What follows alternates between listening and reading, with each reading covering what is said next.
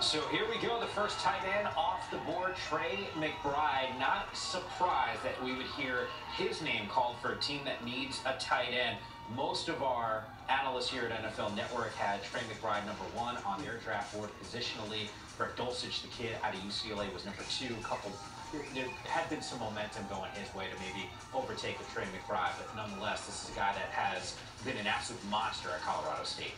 Yeah, he has been. He's also a guy, he can block, but he's a catching, receiving tight end, right? He's They already have Maxx Williams. They have Zach Ertz. So he'll be a guy, knowing that Zach Ertz is getting a little bit, um, a little bit more tread on his tire, a guy that can step up. And we may be having the same situation that happened to Zach Ertz in Philadelphia, happening to him exactly a year and a half later in Arizona.